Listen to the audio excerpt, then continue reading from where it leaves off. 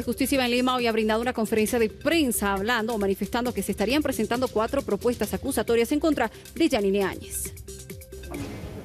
El ministro de Justicia, Iván Lima, hizo conocer cuatro nuevas propuestas acusatorias contra Janine Áñez. Estas deben ser tratadas por la vía del juicio de responsabilidades en la Asamblea Legislativa. Tendrá que, en estos cuatro casos, definir si corresponde o no continuar con el juicio. Lima explicó como primer caso la ampliación de concesión de fondo empresa por 15 años. Un estudio jurídico sin ningún estudio técnico y todo por la voluntad eh, de ella de la ampliación del contrato. Esto es una decisión que está al margen de la ley, que es contraria a nuestra normativa jurídica. Como segundo caso relacionado con el crédito del Banco Mundial, más de 30 millones de dólares. Esta acción se ha ido en contra de la Constitución porque solamente la Asamblea Legislativa puede autorizar la contratación de un empréstito, de un crédito por parte del Estado y no así el órgano ejecutivo, especialmente a los ministros de Economía, me estoy refiriendo al señor Oscar Ortiz, al señor Branco Marinkovic y al eh, licenciado Parada.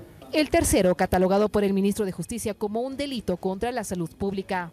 La comunidad internacional reclamó y exigió que se derogue el decreto supremo que impedía que se pueda hacer observaciones, críticas, memes, expresiones artísticas que vayan a cuestionar la política de salud del gobierno de la presidenta Áñez. Esa norma fue derogada, pero estuvo vigente y durante su vigencia muchos bolivianos fueron arrestados. Y como cuarta acción fue presentada y denunciada por bolivianos que vivían en Chile y no pudieron ingresar al país en época de pandemia. Norma arbitraria por un decreto supremo de la señora Áñez y su gabinete que impedía a los bolivianos retornar a su patria cuando ese es un derecho constitucional. Finalmente, Iván Lima reiteró los delitos penales por vía ordinaria en contra de Janine Áñez, relacionados cuando la acusada era senadora del Estado boliviano. El momento que Calimán le pone la banda, ella es una ex senadora y todos sus actos son juzgados en la vía ordinaria.